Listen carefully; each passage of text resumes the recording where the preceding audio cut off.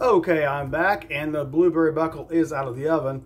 I do want to let you know that I did have to bake it a little bit longer than the 25 to 30 minutes uh, that is recommended. I left it in about 45 minutes because the middle was still just a little bit wetter than I like it.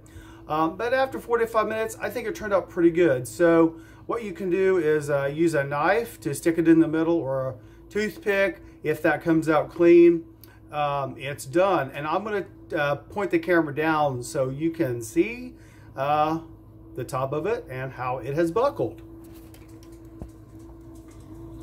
Okay, so I hope that's in the shot. Let me move it over just a little bit.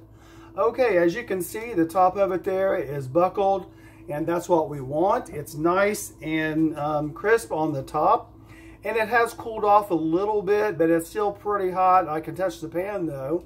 And in a little bit, I am going to cut a piece of this off.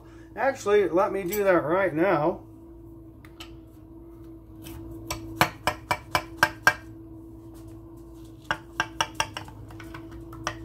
There you go. And let me get a little plate out of the cabinet here.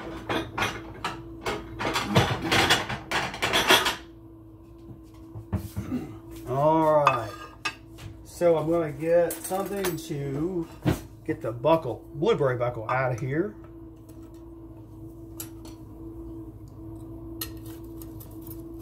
Loosen that up a little bit.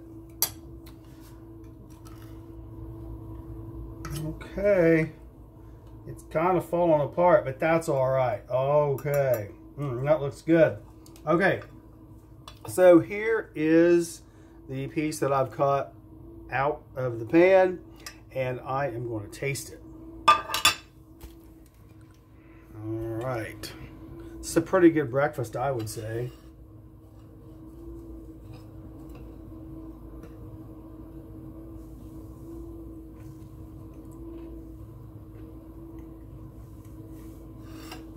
It's really good. Now, if you like cinnamon, sugar, butter, like I do, you're going to like this recipe. And it's still warm, and that's the way I like to eat it. Um, and if it, you know, when it cools down to room temperature, you can just stick it in the microwave for a couple seconds, heat it back up, and have it with a cup of coffee or a cold glass of milk, like I said before. All right, folks, I hope you liked the video.